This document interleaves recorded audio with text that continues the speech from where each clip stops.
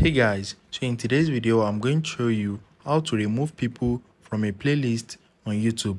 So if you have added collaborators to your playlist on, on youtube and you want to remove them let me show you how it is done.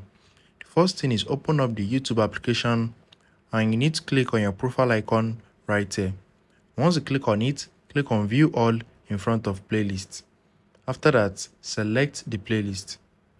Once you select the playlist click on this pencil icon right here.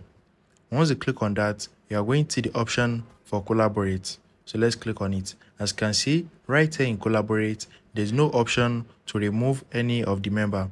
So in order for you to remove the member you need to change the playlist to private. So just close the collaborate section and click on visibility. Once you click on it change your playlist to a private playlist. So now click on save once you click on save, all the people that you add to the playlist will be removed. So let's click on this. So if you click on it, those people will now be removed and they won't have access to the playlist again. So there's no way to remove people. You can only make it private. So they won't have access to the playlist again. So that's it. If you found this video helpful, smash the like button and subscribe.